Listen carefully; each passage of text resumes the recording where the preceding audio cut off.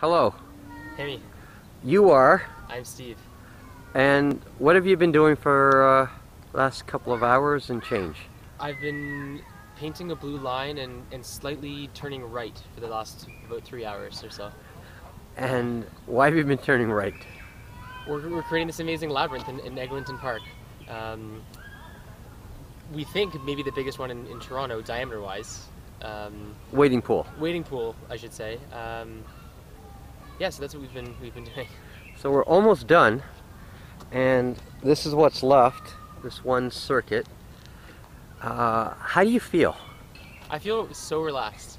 It's an amazing night. It's one of the, you know, one of the first nights um, of 2015 where you can be comfortably in, in a t-shirt and shorts, and the sun's setting, and it's a beautiful night in, in Toronto. While you were doing this, what was your experience? There was sounds and people. It, it was, um, it was, it was really relaxing. I didn't actually make eye contact with anybody.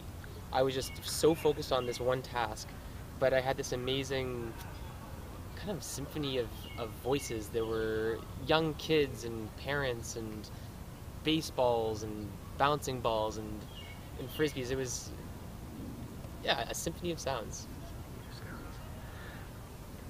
You were telling me this is the first time you believe that you've been in this park? I've never been in this park before. Been in Yeah. this park. And I've, I've been by many times. I mean, even when I entered the park, I thought that it ended at the community center, and uh, I thought I was lost. And then there's this huge, vast green space um, that I've Mhm. never been into before. It is a lot of space.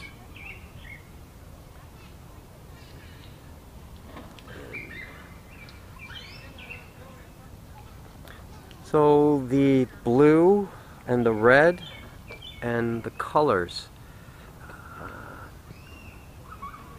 Somehow, going back and forth, we arrived at this idea of alternating, and I think it worked well. It it feels it was the right uh, what was meant to be, perhaps.